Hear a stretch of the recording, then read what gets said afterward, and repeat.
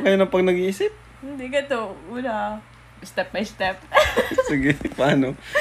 Hindi ganito. Wala, cellphone ka. Sige, ah, ganun. Ah, ganun. Kuwang-kuwa ko Tapos ah. kabilang side naman. Tingin sa pag nag-iisip. Na ganyan. Tapos biglang, mamaya, ito naman.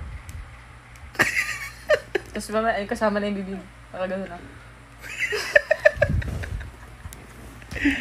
Ganun ka nga mag-isip. Ganyan na pag may- madami akong Kung hindi iniisip. ka maisunod. Pag yung mga iba-vlog.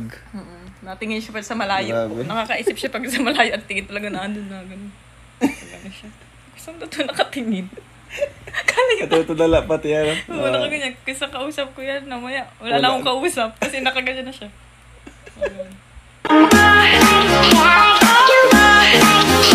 Paano? Maglakad. Di mo na ako ganyan maglakad. Ganyan ka kaya, na ganun. Parang kang na ganun. Di mo na ako ganyan maglakad. Di, nakikita kita. Pag pinapil mo pati pag na-interest ka. Minsan ko rin yung dating sa crowd. Mga ganyan yan. Kaya na gano'n ang mask. Di man. Kaya mong ka, Hindi.